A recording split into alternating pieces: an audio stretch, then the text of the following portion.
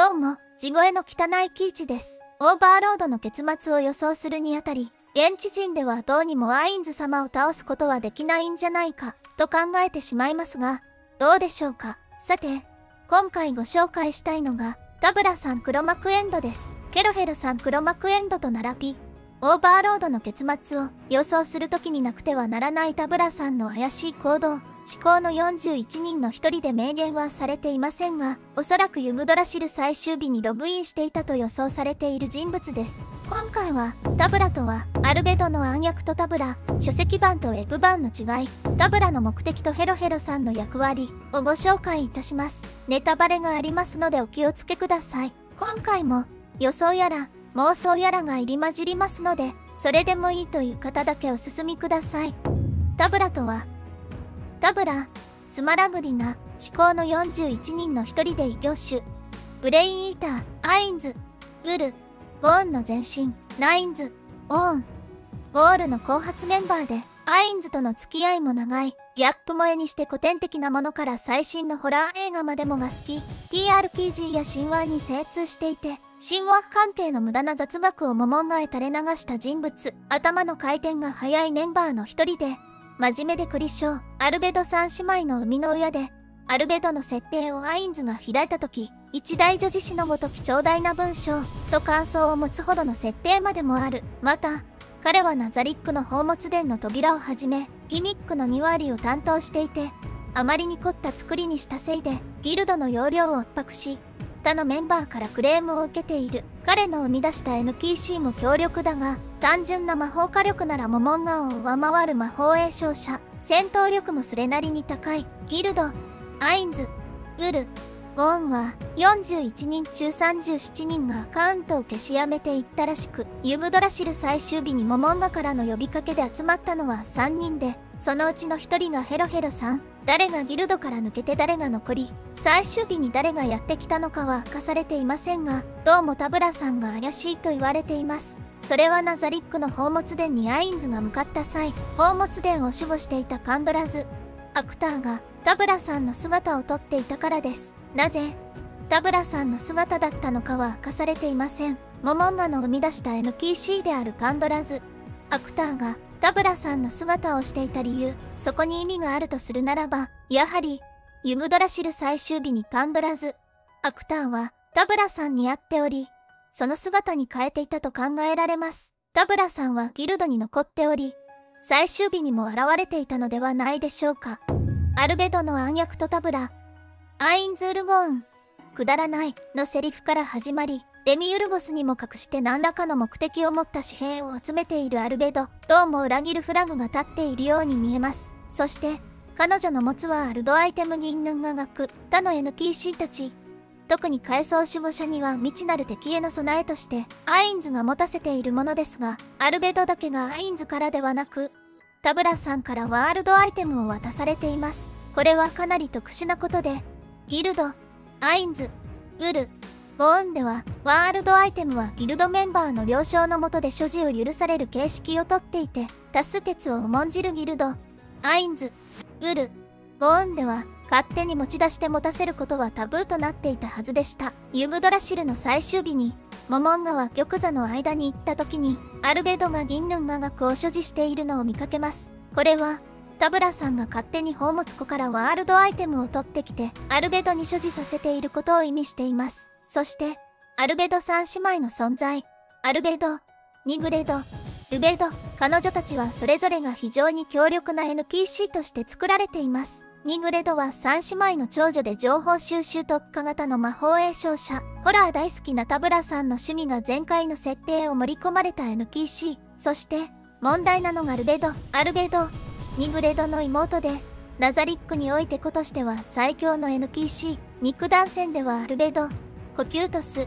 セバスを上回り、ワールドチャンピオンでユムドラシルプレイヤーの中で3番目に強いタッチ。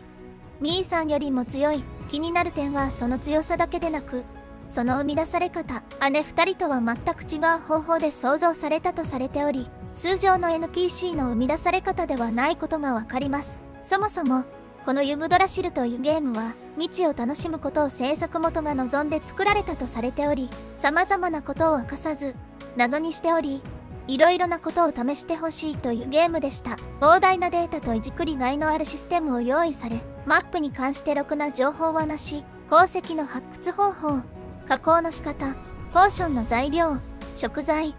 帰る魔獣等々様々なものが不親切なほど未知であり全て自分たちで調べていく必要があった。あまりにも未知なことが多すぎるのでプレイヤーからは制作もとまじ狂ってるとか不相運営などと呼ばれている不親切設計そんな中特殊な作り方で強力な NPC を作り上げることができるタブラさん。タブラさんはユムドラシルのゲームに精通しており何か特殊な方法を知っている人物であると言えます。書籍版とウェブ版の違い。ウェブ版がトゥルーエンド。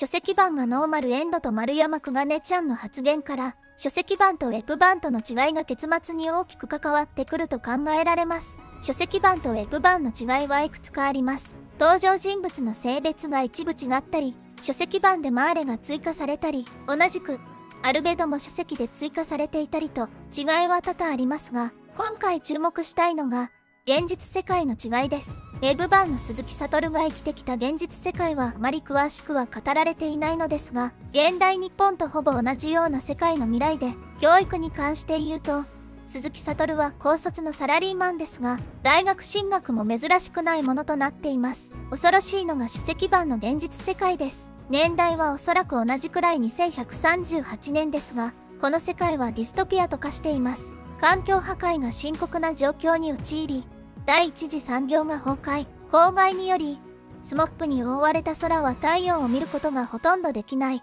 防毒マスクがなければ外出が困難なほど環境は壊滅している。田畑での農業が衰退し農作物はドーム栽培が主流となっている。食料品の価格は高騰し庶民では手を出せず一部のアコロジーと呼ばれる完全環境都市に住む裕福層のものとなっている。食料の不足からクーデターが発生し政治家たちが吊るし上げられ政治機能が麻痺。その隙に巨大複合企業が司法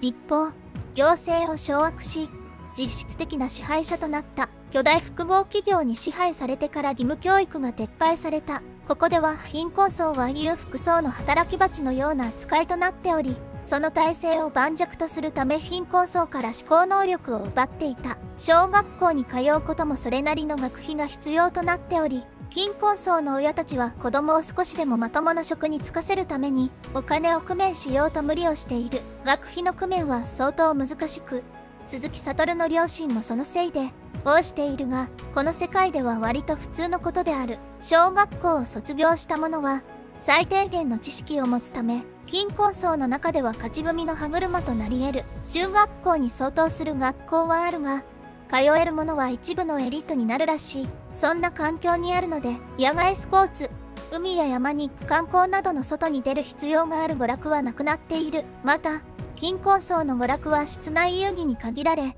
将棋や囲碁などのボードゲームオンラインストリーミングの映画鑑賞そしてユムドラシルなどの DMMO RPG しか娯楽はなくなっている。そもそも DMMO RPG はニューロン。ナノインターフェース、脳に埋め込まれた演算機の機能を増幅し巨大な演算機械として使用できる働きを持つ現代社会においてはなくてはならないものを使ってフルダイブするタイプの MMO そんな貧困層には劣悪な環境の上に裕福層を狙ったテルや裕福層同士での対立で戦争が起こったりもするが戦争に赴くのは貧困層の人間である。そんな劣悪な環境であっても政府が機能していない現状では会社をクビになると生きていけなくなるため反抗する者はほとんどいない。そして鈴木悟の首の後ろにつないだケーブルを通して脳内の演算機に流れてきたぞ。昨年より始まった欧州第2アーコロジーと第3アーコロジー間における紛争は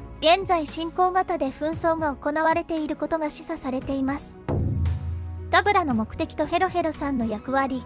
ここからさらに妄想が多くなりますのでご了承ください。ユムドラシル最終日に現れ、怪しい行動をとっていたタブラさん、そして、ユムドラシルのシステムの深いところまで知っているような気配があります。タブラさんは実はユムドラシルの制作の一人ではないかという考察があります。それは彼が設定魔というところにもその裏付けとなる要因があります。NPC は制作者の思考の影響を受けるという設定があります。しかし、テキストの書き込みが多いと制作者の影響が小さくなると言われています。例えば、設定が一番長いのがシャルティア、書籍だとアルベドも目いっぱい書き込まれています。逆に設定が全然ないのがセバス。設定の白紙の部分は制作者の性格の影響を受けてしまうため、セバスはタッチ、ミーさんの影響を大きく受け、まともな性格になっています。ダブラさんは NPC の設定を目いっぱい書き込むことで、アルベドの行動を制御したかったのではないかとも言えます。もちろん、ゲーム時代のユムドラシルのフレーバーテキストには全くの意味はなく、設定を楽しむためだけのものです。設定まだとは言っても、一大女子ほどの設定を書き込んだタブラーさん、アルベドに何らかの目的を持たせるため、意図とは違う行動を取らないように制限させるために、設定を詰め込んだ可能性があります。これは NPC たちがテキストを元にして動き出すことを知っていての行動だったのではないでしょうか。やはり、タブラさんはユムドラシル最終日に起こることを知っていた可能性があります。そして、ケロヘロさんの存在です。彼はユムドラシル最終日に現れ、もうすぐサーバーダウンの時間だと知っていながら、眠気を理由にログアウトしてしまいます。彼は自分がこの後起こる事象に巻き込まれるわけにはいかないが、モモンガがサーバーダウンの時間までいることを確認したかったのではないでしょうか。それもタブラさんの指示によって行われていると思われます。タブラさんはこの最終日にアルベドにはアルドアイテムを持たせたり、パンドラズ、アクターに何か命令を出していると思われます。ダブラさんの目的は何だったのでしょうかそれは墓守だと思います。思考の41人の一人、ベルリバーの紹介に気になることが書かれていました。世界に牛耳るとある巨大複合企業の不都合な情報をつかんだことで、口封じのため殺害されてしまった。表向きは事故死として秘密裏に事件はもみ消されてしまうが、入手した情報はある人物の手に渡ったらしいというものです。この時期は明らかにはなっていませんが、巨大複合企業の存在は現実世界に影を落とし、ギルドメンバーも関わってきているようです。ある人物の手に渡った情報、これは誰に渡ったのかは分かりません。現実世界で警察に所属しているタッチ、ミーさんに渡ったのか、それこそ田村さんに渡ったのかもしれません。ギルドのメンバーの一部は巨大複合企業に対してクーデターを起こすことを計画しているのではないでしょうか。思考の41人のうち37人が脱退していった理由、すべてがとは言いませんが、一部はこのクーデターの参加者であり、すでにされているのかもしれません。ユムドラシルの制作に関わっており、別の世界と融合することを知っていたタブラさんは、自分の最後を悟っていました。そして、ギルド、アインズ、ウル、ボーンでは、全員が1体以上の NPC を作成しているというギルドです。これからいなくなる自分たちのうつせみといえる NPC たち、いでしまう自分たちに代わり、別の世界で生き続ける NPC、ダブラさんはモモンガに少しの罪悪感を抱きながら計画を実行します。モモンガを墓守としてナザリック地下大墳墓に縛り付ける。そのために動かしたのが、ダブラさんの生み出した NPC アルベドです。階層守護者や NPC たちの中でも、自分たちは捨てられたという意識が強いアルベド、そしてモモンガに対して非常に強い執着を見せています。ここまでがタブラさんの思惑、モモンガをナザリックに縛り付けるための存在としてアルベドを誘導したのです。そして、いざという時は武力でもってモモンガを閉じ込めようと考え、アルベドにはアルドアイテムを持たせています。モモンガももちろんはアルドアイテムを所持しており、アルベドに銀ヌンガ学を持たせただけでは逃してしまう可能性は高い。そのために玉座の間に配置することで2つのワールドアイテムを使えるようにしています。そして、ルベード、ニグレドを用意していました。タブラさんの器具とは裏腹に、アインズはギルドのメンバーを大切に思っており、NPC たちをその子供たちのように愛情を注ぎました。タブラさんは目的を達することができたのです。しかし、ここで大きな問題が起こります。ユムドラシル最終日にモモンガはアルベドの設定を書き換え、ちなみにビッチである。から、モモンガを愛している。に書き換えたのです。愛するモモンガが墓守としてアインズ、ウル、ボーンに縛り付けていることを知っているアルベド。アルベドの裏切りのような行動は全てモモンガを解放するためのものでした。密かに強力な部隊を組織しているアルベド、アインズ、ウール、ゴウンを崩壊させるためにアインズと戦うこととなるのではないでしょうか。玉座の間で相対するアルベド部隊 VS 階層守護者とアインズアルベドから明かされるタブラさんの目的。アインズへの忠誠心と創造主への思いで割れる NPC たち。それすらも飲み込んで誰一人死なせずに全てを制圧するアインズ様。これまで見ていたかつてのギルドメンバーの姿ではなく今いる NPC たちを受け入れて新たなアインズ。ウルボーンを作り上げることを宣言するアインズとかだったらいいなという妄想です。今回は田村さん黒幕説で予想してみました。読み込みが甘いところありましたらご指摘お願いいたします。また懲りずにオーバーロード結末を予想していきたいと思います。気に入ってくれたら高評価チャンネル登録お願いいたします。